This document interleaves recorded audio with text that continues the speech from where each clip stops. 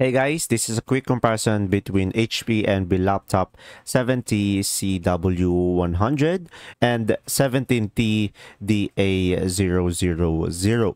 So guys, product links will be in the description below and watch till the end to know which one is for you. So guys, the main difference between these two is that the CW100 features an AMD Ryzen processors while the 17DA000 is equipped with Intel processors. And now I made this table over here for you to understand better. And now from here when it comes to the processor as you can see like I said the CW100 has an AMD Ryzen 5 or 7 and it is great for multitasking. And the DA000 has an Intel Core i5 or i7 which is a strong single core performance. And now when it comes to the graphics, it has an AMD Radeon and it is decent for casual gaming.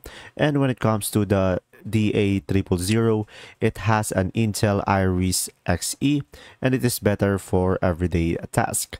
And now when it comes to the display, pretty much it's a tie. They both have a 17.3 inch full HD and it has a vibrant and wide viewing.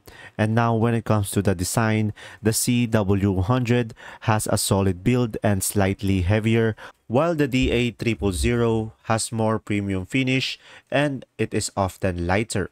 So guys, choose the CW100 if you prefer AMD performance for multitasking and casual gaming and choose the DA000 if you want an Intel processor with excellent performance for productivity tasks and a more premium design.